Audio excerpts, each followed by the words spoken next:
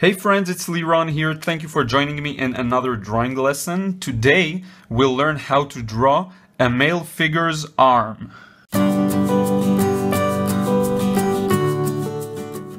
Okay, let's begin. So first off, let me explain the setup I have here. Uh, what I've got is a square. It's about uh, 5.2 inches in uh, on both sides, and I also divided it about halfway through here and here as well. And this line is about a, th a, third from the left. So if you divide this part into three parts, it'll be on the left third. Okay, um, so this setup will help us draw the shape of the arm here. And I'll begin by working on the shoulder muscles. And Sadly, in this video, you're not going to see exactly how this connects to the body, which is, I think, a challenging part uh, in itself, but uh, we will do so in a future video for sure. Um, so I begin with a very curved line here, uh, almost uh, circular, and it reaches about a third of this box here. Um, and then I get another small curved line down here. And that is sort of the line that gets um, connected to the chest.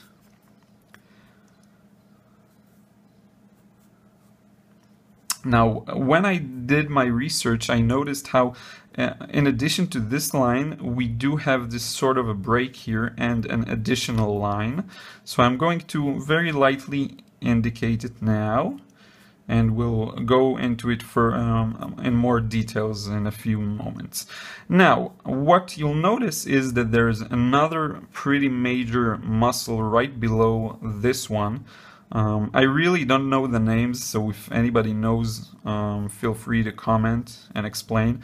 Um, I've never uh, learned the, these things by their name, I simply learn from observing them. So now we have that other muscle here, right below this one. And I'm also using a very curved um, shape here. Now finish this muscle in about this point near the center of the of the square. So it sort of touches the lines of the square.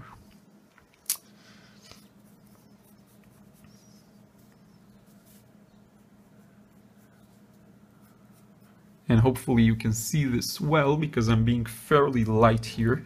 Okay, now underneath it we do get to see some part of a muscle, an additional muscle at the back. Um, and so I'll draw this one as well. And it sort of then turns into a straight line. You see there is a small break here. Very gentle. Now we, we won't go into the rest of the body, but the chest goes like this. But we'll work on the arm in this video. Uh, okay, so now let's continue this line here. And we'll sort of end it about this point. And again, pull another line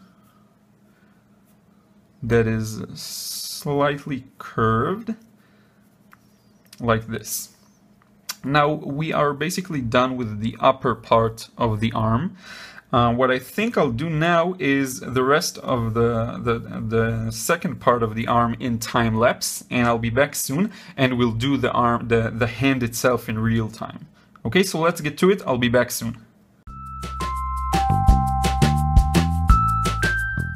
Okay, there we have it. This is the, the main entire arm. Now we can begin working on the hand itself. Now, the hand is going to be limited to only this small slice here on the left. Um, and we'll begin by drawing the upper surface here. It goes like this, okay? So this is what you want to um, get in here. So first, a very um, diagonal downwards line again representing the upper part of the hand. And from here, this is actually the center point, this part. And it connects directly to this uh, part that's a little fat and connects to the thumb. So we get that connection by moving into a curved line here that moves downwards. And then indicating the thumb. Now we have some foreshortening happen here because of the angle of the thumb and I think I might want to get it even more squeezed in due to that foreshortening. Basically, foreshortening is when you have an object that's pointed towards you and it causes it to sort of um, look squeezed a bit, squashed. Um, not sure what the proper word for that will be. distorted, I think. Yeah, distorted. So the thumb is sort of pointing towards us. What we see here is this part. Um, now we want to begin indicating the fingers. And so in order to do that, we'll continue this line here that represents again this part.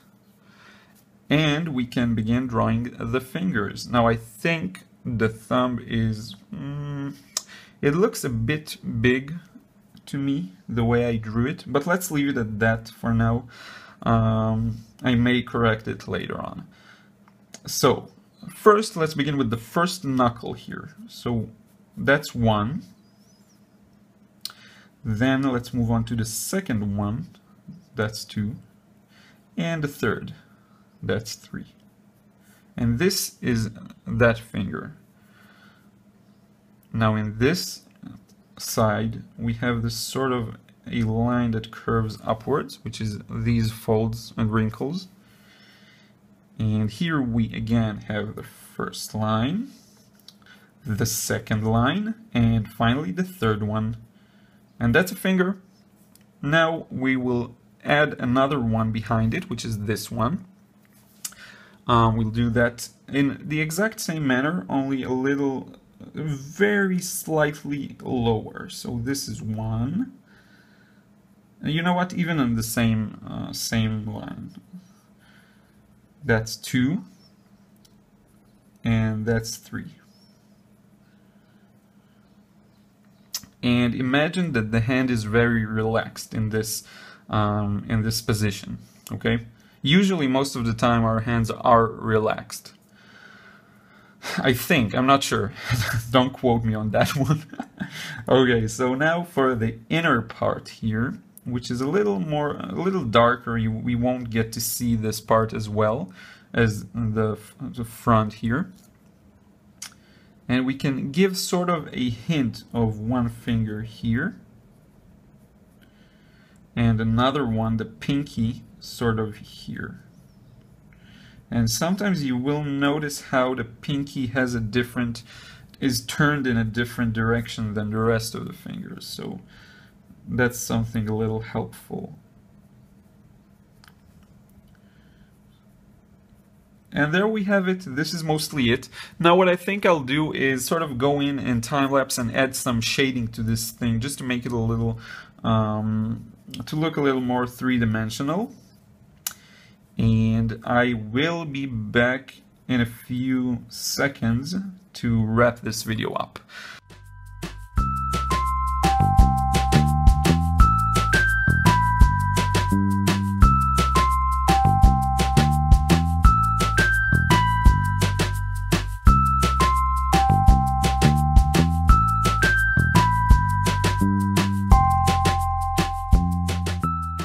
And there you have it, friends, and a male figure's arm. Um, let me know what you think in the description, in the comments below, and also uh, please tell me if there's something that you uh, want me to touch, a particular topic that you want me to do or to draw. Um, and that's it for today. Thank you for watching. Please subscribe if my videos are helpful to you. And um, also check out my website. It's going to be the first thing you'll see in the description box below and in the end of this video. And you can subscribe and get tons of tips from me personally, um, things I don't share actually anywhere else. Um, so feel free to check that out, and I will see you soon.